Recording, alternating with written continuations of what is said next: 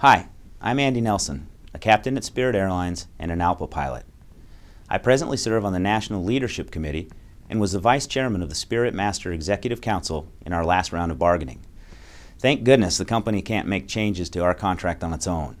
Spirit, like your company, complained about outsiders, meaning, of course, our union, interfering with its relationship with its pilots.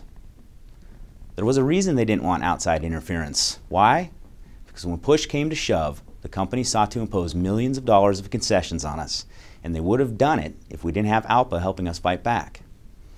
In our last round of bargaining, Spirit, the leader in profitability, didn't get its onerous concessions, and we were able to build on one of the best packages of work rules in the industry while negotiating pay that is close to carriers far larger than we are.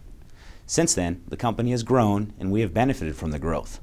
On the other hand, we have had to defend ourselves on numerous occasions when they tried to circumvent the contract, and with ALPA's help, we have been very successful in enforcing our agreement.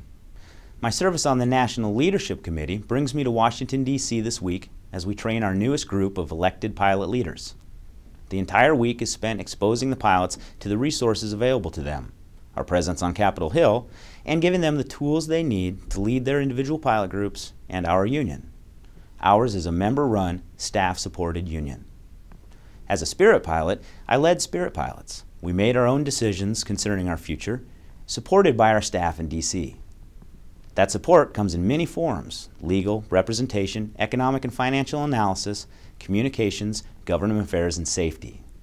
Back home, Spirit's growth and day to day operations are monitored by committees of Spirit pilots, monitoring scheduling and safety. Those committees simply wouldn't be effective without the help of our ALPA professionals. We are ALPA, ALPA is us. I have read where your company has warned you against outsourcing your representation. My advice is don't outsource your representation to the company. Make sure you have your own voice, one that is accountable by law only to the pilots. That is why we have ALPA.